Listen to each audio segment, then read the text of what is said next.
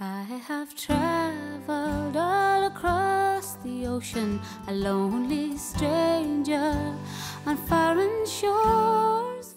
Home is a feeling of, of security and warmth and belonging and all fuzzy, nice, warm uh, feelings. And I think Ireland is that for, for so many people. I think it's it's um, the warmth of the landscape, the intimacy of it, and also the generosity and uh, friendliness of its people.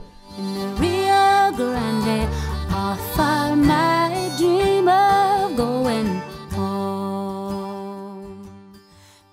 Trip across a stone here, and it's you know from a, an ancient tomb or monument, and uh, there's history everywhere we walk, and we take it so much for granted. And uh, some of the the fields you walk, you know, have such history. The Glencar waterfall up to the uh, the tombs in Carrowkeel uh, and the top of Knocknarea where Queen Maeve is buried overseeing her kingdom.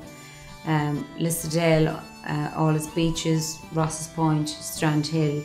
I mean, it's just incredible, the beauty.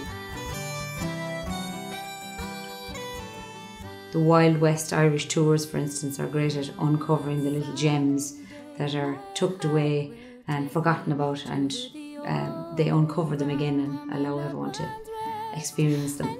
Put your arms like a around me in the one place that I call.